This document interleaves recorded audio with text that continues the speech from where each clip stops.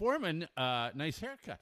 You got a haircut. Thanks. Foreman Yeah. got a haircut. That's a that's a lot. I mean, when Foreman gets a haircut, I just got a haircut too, but I wear a hat. You all the did? time. Oh, yeah, you have a hat on. tell. No, I was just gonna tell. say. I thought the same about you. Yeah. You can't- did not. He's wearing a hat.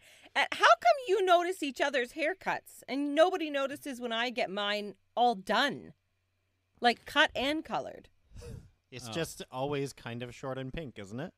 Yeah. Short and pink. What are you talking about?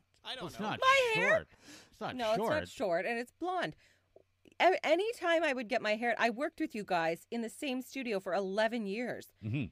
Anytime I would get my hair done, no one noticed. Not one of you. I would even Um. tell you the day before, I'm going to get my hair done today Mhm. after the show. Mm-hmm.